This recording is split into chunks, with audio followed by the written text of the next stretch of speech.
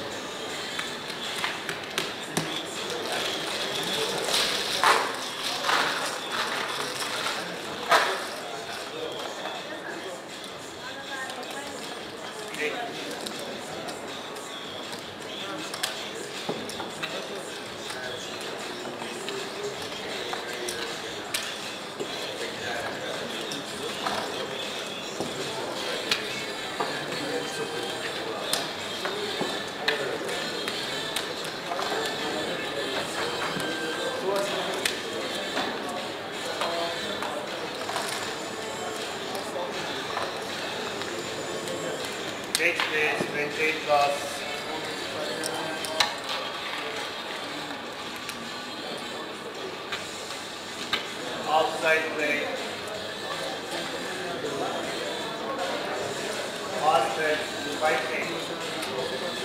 Seriously, in our for all last long while.